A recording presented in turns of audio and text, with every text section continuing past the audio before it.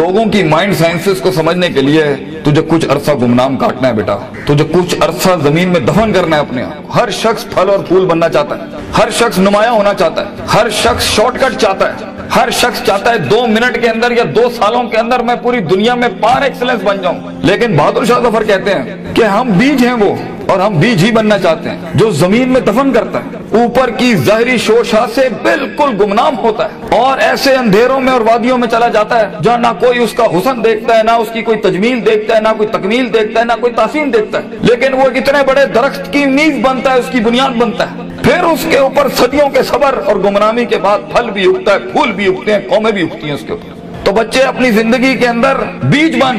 वो बीज जो दफन होता है बड़े अरसे, और फिर जब नुमाया होता है तो फिर तुझे फ़ोन कॉल आएँगे एक दिन। कि यार तुम मेरे क्लासमेट थे ना जो मेरे साथ पढ़ा करते थे। तुम मेरे बैचमेट थे ना तो हंसना उन वक्तों पे उन लम्हात में हंसना अकेले में बैठ के जिन्होंने तुझे लात मारी थी जिन्होंने तुझे बाहर निकाला था दुदकारा था जिन्होंने उन अंधेरी वादियों में तुझे छोड़ के आए थे जब तू तरस रहा था कि तुझे सिर्फ़ थोड़ा सा एक पेज पढ़ा दें तेरा एक छोटे से असाइनमेंट में हेल्प करते हैं तेरी एक जॉब की हल्की सी सिफारिश करते हैं अगले को कन्विंस करने के लिए एक, फ़ोन कॉल लगाते हैं वही तेरे कदमों में ना हुए तो फ़ोन करके तू मुझसे गिला कर ली मेरा नाम मिटा दी इंशाल्लाह ये लोग तेरे कदमों पे होंगे। लेकिन ये शुरुआत जो है, इस विजन मैनेजमेंट की जो ग्राइंड है, जो स्ट्रगल है, जो काट है, जो इसकी गरमाइश है, जो कलेजा और जो जिगर है इसके लिए, उसको बनाने के लिए अपने आप को यकीन, सबर, दबाम, Istiklal consistency perseverance determination conviction consciousness perception reason rationality forecasting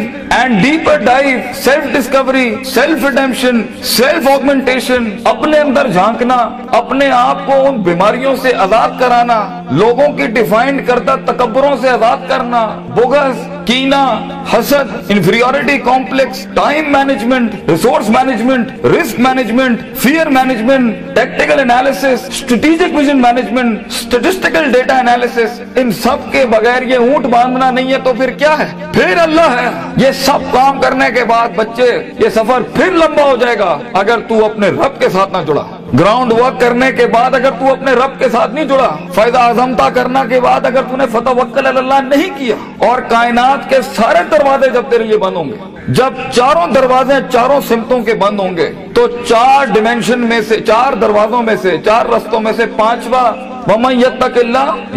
मखरजा खुदा करेगा तेरे लिए। इसलिए तूने उसको भी कायल करना है कि तू ज़मीन और आसमान और इन सारी अफलाक, इनमें मुआवजे पैदा कर मेरे लिए। आना इंदा जन्नी अब्दी बी के तहत आग को ठंडा कर इब्राहिम अलैहिस्सलाम की तरह। बुझाई नहीं अल्लाह ने। तू कायल कर अल्लाह से अल्लाह देख, मैं पॉजिटिविटी के लिए खड़ा हूँ। लोगों के लिए खड़ा हूँ यहाँ। पर आज़ाद हूँ अपनी नफ्स से, आज़ाद हूँ अपने माजी से, आज़ाद हूँ अपनी दुश्मनियों से, आज़ाद हूँ एक विजन है ख्वाब है मेरा। इतनी बड़ी सल्तनत खड़ा करना है तो मैं एक कायर की मौत नहीं बनना चाहता। गरीब हूँ, फकीर हूँ। लोगों के अंदर पब्लिक रिलेशनशिप नहीं जानता। लेकिन कलेजे में बहुत दम है अल्लाह। अपनी इज़्ज़त करना जानता हूँ लोगों की भी इज़्ज़त करना जानता हूँ। बड़ी ही दुनिया बनाना चाहता हूँ। एक इंसान हूँ, पचास साठ साल की ज़िंदगी। है। मुझसे कुछ काम ले ले अल्लाह। मैं देख खड़ा आज इस तेरे सामने हाथ फैलाए अल्लाह। मैंने अपना काम करके मेहनत कर दी, अल्लाह फतह देने वाला तू है। तो अल्लाह भी कहता है, आएगा उसके बाद इधर जा नसरुल्लाहि वल ना सैयद खुलूना फ़ी दीनिल्लाहि अफवाजा। लोग ऐसी फौजें तेरे साथ जुड़ेंगे। अल्लाह पे के तीन नुक्तों को, से के तीन नुक्ते बनाएगा तेरे दर्द के ऊपर। और तू देख, तू कैसे चमकेगा तू। लोग सोचेंगे कि ये तो आम सा शख्स था हमारे बीच। कोई हैसियत नहीं।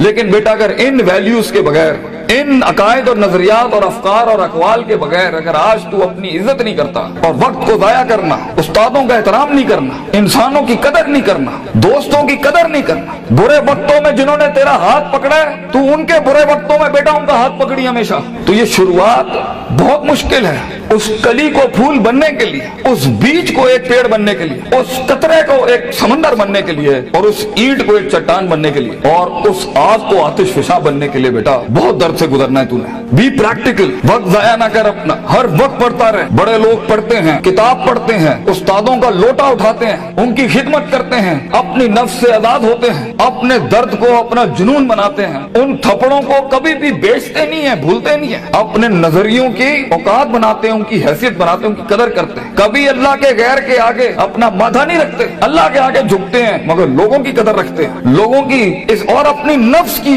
गुलाटियों को समझते हैं। मम बदा सियासत नफसी, फकत अदरा का सियासत नास जो अपने अंदर की सियासत को मास्टर नहीं कर सका। ये नफ्स की गुलाटियों को ये अभी मुझे सुनते हुए भी दस हज़ार ख्याल आ रहे होंगे। वो कभी लोगों को मास्टर नहीं कर सकता। मगर जो अपने अंदर डूब के आया होगा और अपनी छाती से वो हीरे मोती निकाल के लाया होगा और अपनी गिलासतों को मुँह दिया होगा। वो लोगों के कलेजों की धड़कन बन सकता है, वो उनकी आवाज़ बन सकता है, वो एक सीईओ बन सकता है कंपनी का, वो एक ऑर्गेनाइजेशन को लीड कर सकता है, वो लोगों में अपना विजन उतार सकता है, वो गुर्बत के अंदर अपना आइडिया बेच सकता है। और आइडिया होता ही जी नहीं है इसके पास मगर उसके पास बेटा रिसोर्स नहीं होते, पैसा नहीं होता सपोर्ट नहीं होती, मगर होती है तो फकीरी और गरीबी और गुमनामी। और लोग तेरे बिकने की कीमतें लगाएँगे, लोग तुझे खरीदने की कीमत लगाएँगे और तेरे ऊपर बड़ी बड़ी इंडस्ट्रियाँ बना लेंगे। तो बहुत हौसला चाहिए होता है, बहुत सबर चाहिए होता है। ये अल्लाह का काम है, मगर तू बीज डालता रहे बच्चे। Take that walk and take an honourable walk and let the end the dogs bark at you कुत्तों को भौंकने दे तेरे ऊपर। कहते हैं ना, सीना हमेशा, सीना खुला रखना लोगों के। मगर कभी कभी अपनी कमर भी दिखा देना लोगों ने, क्योंकि सफ़र में तेरा कमर बहुत छल्ली होगी तेरी कमर। बड़े निशान होंगे छुरों के तेरे ऊपर। दर्द भरी ज़िंदगी हो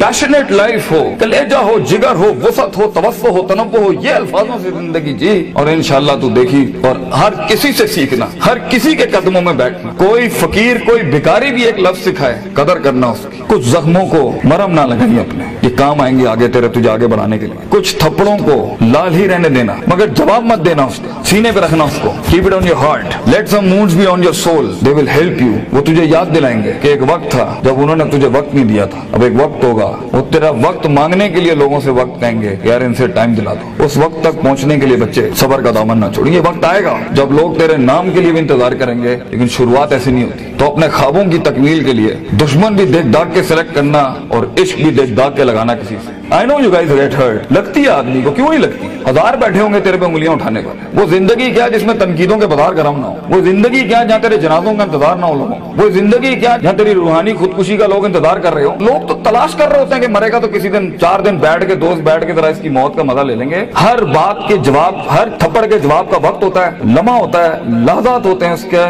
मकाम होता है, मकान होता है, जर्फ होता है, शर्फ होता है। हर थप्पड़ हर जगह मारने का नहीं होता, हर जवाब हर जगह देने का नहीं होता। तो ज़िंदगी के अंदर, आवाज़ के अंदर वो रोब, वजाहत के अंदर वो ताकत और वो कद काट पैदा करने के लिए सबर का दामन ना छोड़ी बेटा।